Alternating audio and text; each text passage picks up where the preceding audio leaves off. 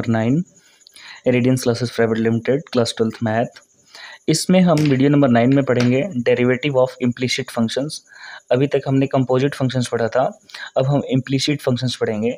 मैं बता दूँ कि इम्प्लिसिट फ़ंक्शंस होते कैसे हैं? तो देखिए, इस एक्सरसाइज में आपका एक्सरसाइज होगा ये फाइव पॉइंट थ्री होगा, ठीक है?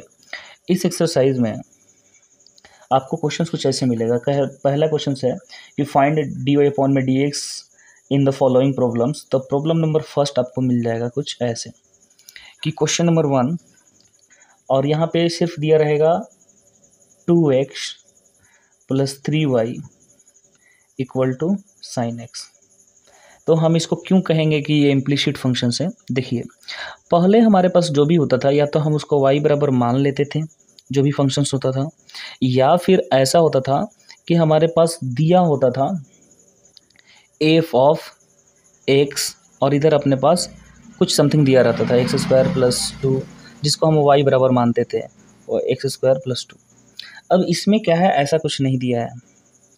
तो इसमें क्या किया है कि दोनों फ़ंक्शंस एक ही साथ कर दिया, जैसे कि एफ़ ऑफ़ एक्स वाई दोनों मिक्स कर दिया है, और ये ऐसे कर दिया X square plus Y square plus two है ना? ये मतलब फ़ंक्शंस जो है एक्स और वाई दोनों मिक्स कर दिया है। तो इसको कहते हैं इम्प्लिसिट फ़ंक्शंस ओके तो आई होप अगर ये भी नहीं समझ में आया तो कोई बात नहीं, घबराने वाली बात नहीं। जब हम करने लगेंगे क्वेश्चंस तो ये सब समझ में आने लगेगा, ठीक है?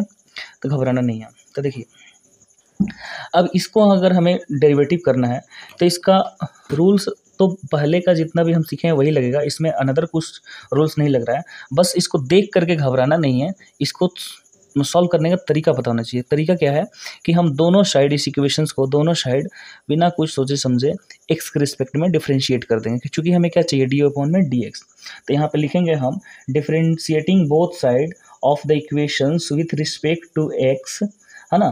तो लेकिन आप इतना जो है शॉर्ट में लिख लीजिए नॉर्मली कि differentiate both side with respect to X ऐसे हमने लिख लिया। और यहाँ पे वाई को हम क्या मान लेंगे? डिफरेंशिएबल फ़ंक्शंस मान के चल के चलेंगे हम कि वाई क्या है? एक्स का डिफरेंशिएबल फ़ंक्शंस है। तो देखिए यहाँ पे क्या करेंगे? इसमें डेरिवेटिव दोनों साइड लगाएँगे तो डेरिवेटिव ऑफ़ एक बार मैं पूरा समझा दे रहा हूँ। बाद बा, आ, उसके बाद से हम क्या करेंगे कि आ, अलग अलग डेरिवेटिव हम लिख लेंगे। पहली बार मैं ऐसे करता हूँ कि दोनों तरफ़ हमने डिफ्रेंशिएशंस किया। तो डेरिवेटिव का क्या लिख लिया हमने? Two X plus three Y और विथ रिस्पेक्ट टू एक्स और इधर भी हमने डेरिवेटिव ऑफ़ लिख दिया sine X with respect to X अब आपको बताया था ना स्टार्टिंग में कि प्लस या माइनस से अगर दो फ़ंक्शन सेपरेट होते हो तो उन अलग अलग डेरिवेटिव किया जा सकता है।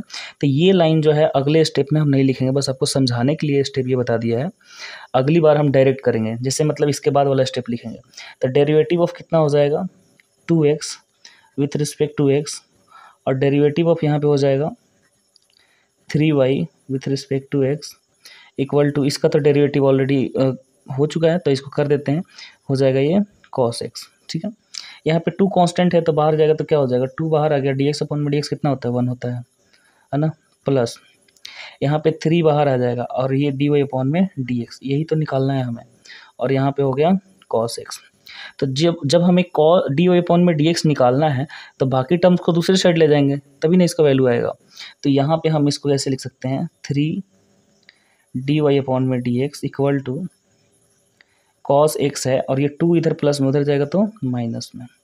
अब ये थ्री यहाँ पे क्या है? मल्टीप्लाई में है, इधर जाएगा तो डिवाइड में तो अगले स्टेप में हम डी वाई अपॉन में डी एक्स इक्वल टू अब यहाँ पे कॉस एक्स माइनस टू और डिवाइड में कितना हो जाएगा? थ्री और यही हमें क्या करना था? निकालना था। ठीक है? अब ये बीच में इक्वल टू है तो यहाँ पे इम्प्लाई या फिर और लिखना ज़रूरी है, या हिंदी में कहें तो हमें इसको या लिखना ज़रूरी है इम्प्लाई लगाना ज़रूरी है। क्लियर है? तो ये अपना जो है फ़र्स्ट का आंसर ये हो गया। सेकेंड का आंसर देखिए सेकेंड क्वेश्चन क्या कह रहा है? Two X plus three Y second number question दिया है यहाँ पे। सेकेंड नंबर क्वेश्चन है। Two X plus three Y बराबर साइन वाई। ये हमें क्वेश्चन दिया हुआ है। इसको भी ऐसे ही बार बार मैं ये नहीं लिखूँगा। Differentiate with respect to X तो आप यहाँ पे लिख दीजिएगा बोथ साइड अब मैं डायरेक्ट इसका कर रहा हूँ। ये भी स्टेप नहीं लिखूँगा डायरेक्ट ये स्टेप तो यहाँ पे टू बाहर हो गया और derivative of X with respect to X यहाँ पे थ्री बाहर हो गया। ये तो फिर से सेम क्वेश्चन हो गया ना। प्रॉब्लम नंबर नहीं नहीं। यहाँ पे एक्स था इस क्वेश्चन में क्या था? एक्स था, यहाँ पे वाई आ गया, ठीक है? सेम क्वेश्चन नहीं है, अलग है। तो ये थ्री आ गया बाहर कॉन्स्टेंट है तो और डी वाई अपॉन में डी एक्स इक्वल टू अब यहाँ पे देखिए डेरिवेटिव ऑफ़ साइन और मैंने बताया था कि जितना यहाँ एंगल होगा, उसी के रिस्पेक्ट में करते हैं ना तो यहाँ पे वाई के रिस्पेक्ट में करेंगे, और फिर वाई का डेरिवेटिव करेंगे एक्स के रिस्पेक्ट में। ये बातें समझ में आनी चाहिए, ठीक है?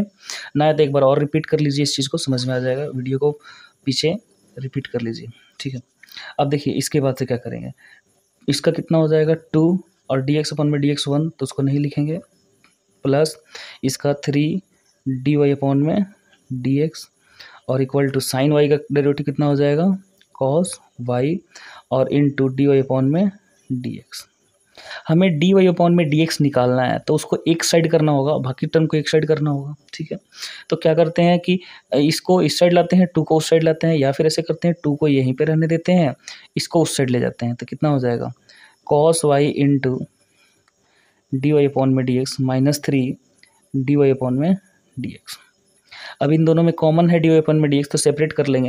यहाँ पे लिखेंगे two cos Y minus three हमने क्या कॉमन ले लिया? डी वाई अपॉन में डी एक्स कॉमन ले लिया। तो जब हम इसमें कॉमन ले लिए तो इसी का वैल्यू निकालना है तो ये बाकी इंटू में है तो इधर जाएगा तो डिवाइड में। तो हम कह सकते हैं कि डी वाई अपॉन में D X equal to two और डिवीज़न में ये चलाएगा कॉस वाई माइनस थ्री और यही अपना क्या हो जाएगा? आंसर हो जाएगा। ठीक है? और यहाँ पे इम्प्लाई का साइन जो है वो मत भूलिएगा। ये आपको लगाना ज़रूरी है। और यहाँ पे वो लाइन भी लिखना ज़रूरी है differentiate both side with respect to X clear है? क्वेश्चन नंबर थ्री देखते हैं आप। क्वेश्चन नंबर थ्री है यहाँ पे। A X plus B Y square A X plus B Y square equal to cos Y इसका डिफ्रेंशिएशन करना है। इसका भी देखिए, यहाँ पे लिखेंगे differentiate both side with respect to X तो यहाँ पे ए कांस्टेंट है तो ये बाहर आ गया और एक्स का डेरिवेटिव यहाँ पे करेंगे। प्लस यहाँ पे बी कांस्टेंट है, बाहर आ जाएगा। डेरिवेटिव किसका होगा? वाई स्क्वायर का। अब वाई है तो वाई के रिस्पेक्ट में होगा ना, क्योंकि Y to the power N हो गया है। तो वाई के रिस्पेक्ट में होगा और फिर डी वाई अपॉन में डी एक्स देखिए फॉर्मूला क्या था? X to the power N तो एक्स के रिस्पेक्ट में तो Y to the power N तो वाई के रिस्पेक्ट में करना होगा हमें। ठीक है? Equal to derivative of cos Y अब यहाँ पे एंगल वाई है तो वाई के रिस्पेक्ट में, और चूँकि यहाँ पे हमें एक्स के रिस्पेक्ट में करना है तो इसका भी हो जाएगा वाई का भी एक्स के रिस्पेक्ट में। अब हमें यहाँ पे एक लाइन ये लिखने के बाद ये हो गया ए हो जाएगा प्लस में बी इसका कितना हो जाएगा? टू वाई पावर पहले आया और वाई का पावर टू माइनस वन तो टू वाई हो जाएगा। डी वाई अपॉन में D X equal to cos का कितना होता है? माइनस साइन वाई और डी वाई अपॉन में डी एक्स अब हमें डी वाई अपॉन में डी एक्स निकालना है तो इसको एक साइड करना होगा, बाकी साइड को, बाकी को एक साइड करना होगा, ठीक है? तो हम क्या करते हैं इसको? या तो इसको इस साइड ले लेके या फिर इनको उस साइड लेके जाएँगे, ठीक है? तो हम क्या करते हैं कि ए को जो है उस साइड लाते हैं और इसको इस साइड लेके आते हैं। तो देखिए, देखेंगे यहाँ पे क्या होगा। समझेंगे ज़रा। हम क्या कर रहे हैं कि ये टू ये टू बी वाई इसी साइड रहने देते हैं। ठीक है? समझेंगे ज़रा। टू बी वाई और डी वाई अपॉन में डी एक्स ये इक्वल का इसी साइड रह गया। और ये जो है इक्वल का उस साइड था तो माइनस में था, इधर आएगा तो प्लस में हो जाएगा। तो प्लस में हो गया sine Y D Y upon में डी एक्स बात समझ गए? अभी यहाँ पे बराबर है। अब इधर देख रहे हैं कि क्या है? ये प्लस में है। प्लस में है ए तो क्या उधर जाएगा तो माइनस में। तो क्या हो जाएगा यहाँ पे? माइनस का ए। अब इसमें कॉमन ले लेंगे। क्या कॉमन हो जाएगा? डी वाई अपॉन में डी एक्स। तो क्या बचेगा? टू बी वाई अब प्लस का sine Y equal to minus A. हमें निकालना है डी वाई अपॉन में डी एक्स का मान। ये हो जाएगा माइनस ए। और ये चूँकि मल्टीप्लाई में है तो टोटल कहाँ चलेगा डिवाइड में। तो टू बी वाई प्लस का साइन वाई। और यही मे भी आंसर होगा, ठीक है? ठीक है? तो नेक्स्ट जो है, अगले वीडियो में करेंगे। Video number